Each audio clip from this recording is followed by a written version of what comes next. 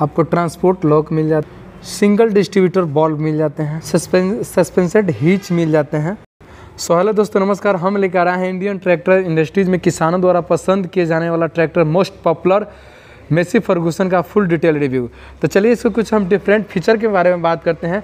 जैसे कि distributor bulb आपको न्यू वाला मिल जाता है, जो कि आप इसको पुश करके आप आसानी से ट्रिपिंग ट्रॉली के लिए आप यूज़ इसको कर सकते हैं।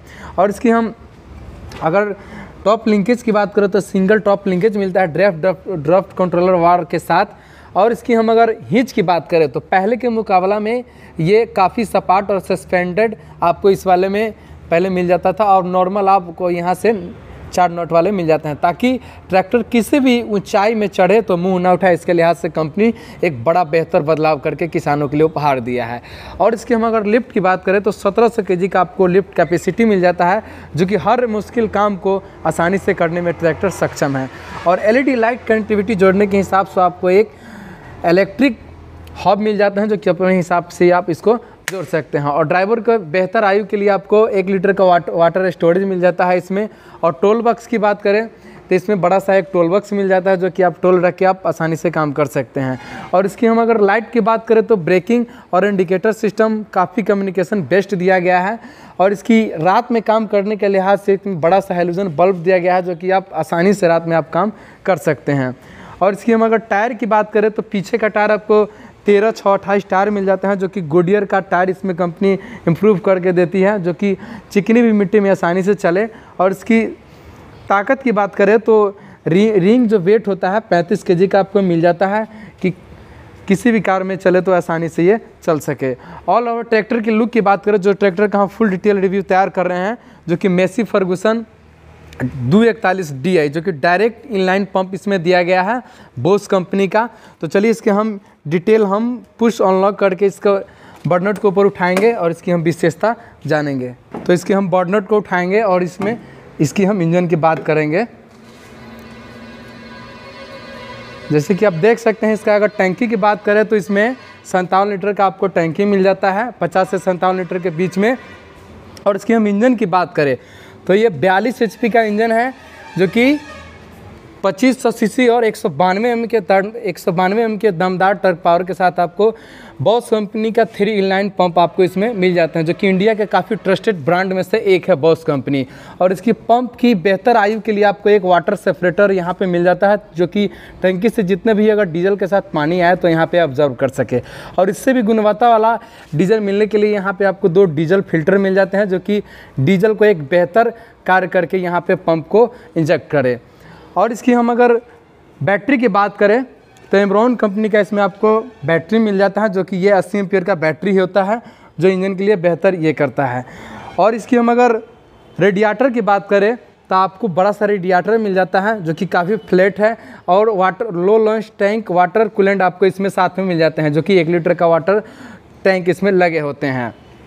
और इसकी हम अगर सलेंसर की बात करें तो नॉइस कैंसलेशन के हिसाब से एक बड़ा सा सलेंसर दिया गया है ताकि आप आसानी से ट्रैक्टर चलाओ और आपको आवाज़ को पता ही ना चले। और इसकी हम अगर स्टरिंग की बात करें तो मैकेनिकल पावर स्टरिंग आपको मिल जा सॉरी, मैकेनिकल स्टरिंग आपको मिल जाते हैं और इसकी हम अगर स्पेंडल की बात करें तो स्ट्रेट फॉरवर्ड आपको नॉन एडजस्टेबल स्टरिंग मिल जाता है। स्टरिंग यहाँ पे ये देखिए और इसकी हम अगर बम्फर की बात करें तो यह पैंसठ के का बम्फर मिल जाता है जो कि किसी भी मुश्किल काम में ये चढ़े तो आसानी से किसी भी छत में चढ़ जाए। तो चलिए दोस्तों, ट्रैक्टर की हम दाहिने तरफ़ चलते हैं और इसकी हम अल्टरनेटर की बात करते हैं तो 12 वोल्ट छत्तीस एम्पियर का आपको अल्टरनेटर मिल जाता है जो कि हाई स्पीड बैटरी चार्ज करने में ये सक्षम है। और इसकी हम सेल्फ की बात करें तो 12 वोल्ट छत्तीस एम्पियर के आपको सेल्फ मिल जाते हैं, जो कि एक बेहतर आयु के लिए मानी जाती है। और इसकी हम इंजन की बात करें तो Simpsons company made in India लिख कर देती है, जो कि ये बेहतर है और अपने कार श्रेणी में सिगामेट में सबसे बेहतर दिया गया है। और इसकी हम चौकबार सेंस की बात करें तो कंपनी ने एक बेहतर बदलाव किया है, जो कि ये चौकबार सेंसर आपको ये मालूम करके ये दिखाई देगा कि अगर आपका एयर क्लीनर आपका गंदा हो गया तो ये यहाँ पे आपको मालूम चल जाएगा जो यहाँ पे लगी होती है। और इसके हम एयर क्लीनर की बात करें तो थ्री स्टेज वाला वालवा टाइप को आपको एयर क्लीनर मिल जाएगा, जो कि लो मेंटेनेंस का है और किसानों के लिए ये काफ़ी उपयुक्त है।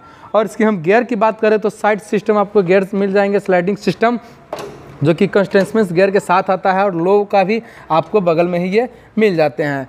और इसकी हम लॉक की बात करें तो ये ट्रांसपोर्ट लॉक मिल जाता है, जो कि आप भारी एप्लीमेंट रास्ते में ले जाते टाइम आप अगर आप इसको लॉक कर देते हैं तो आपका एप्लीमेंट सुरक्षित रहेगा और आप सही जगह पर आप ले जा सकते हैं इसको हम। और एक और अगर इसके टायर की बात करें तो तेरह छः अट्ठाईस के आपको इसमें टायर मिल जाते हैं। और इसकी ब्रेकिंग की बात करें तो इमर्सिड वाल ब्रेक मिल जाता है, जो कि काफ़ी फ्लैट और स्मूथ चलने में होता है, जो कि ड्राइवर को एक काम में मजबूती देता है। और इसकी हम अगर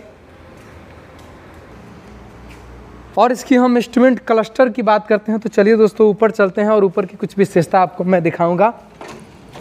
जैसे कि आपको ये इंस्ट्रूमेंट क्लस्टर मिल जाता है, जो कि काफ़ी फ्लैट है।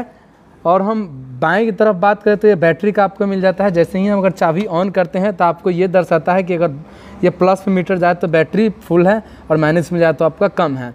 और ये कि आपको मिल जाता है मोबिल का इंडिकेशनल जो कि मोबिल मोमेंटम वाइल जो जिसको बोलते हैं, वो सही से है तो ये बीच में रहेगा। अगर कम है तो आप मोबिल चेक कर सकते हैं। और इसकी हम दाहिने तरफ़ बात करें तो ये वाटर का मिल जाता है। जैसे कि आपके गाड़ी में कूलेंट सिस्टम को ये दर्शाता है कि आपका गाड़ी कितना हीट है, नहीं है, ये आपको दर्शाता है। और और पीछे की बात करें तो जैसे डीजल आपको मिल जाता है कि टैंक में कितना डीजल है, ये आपको दर्शाता है। और इसकी हम मेन वाली की बात करते हैं, जैसे कि आपको रीडिंग घंटा मिल जाता है, जो कि 1500 पे ये 540 सौ प्रदान करता है और इसकी ये दर्शाता है।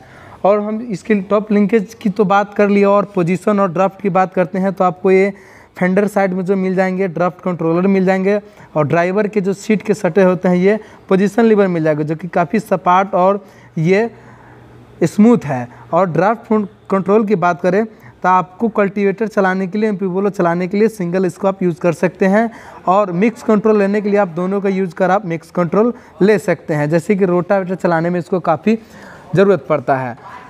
तो चलिए दोस्तों इस ट्रैक्टर को हम चालू कर इसका टर्निंग रेडिएशन चेक करेंगे और इसकी हम आरपीएम चेक करेंगे। देख सकते हैं नॉइज़ कैंसलेशन के हिसाब से बेहतर सलेंसर दिया गया है और इसकी हम टर्निंग रेडिएशन यहाँ पे चेक कर सकते हैं ये काफ़ी बेहतर है। आपको यहाँ पे चौक बार ये मिल जाता है।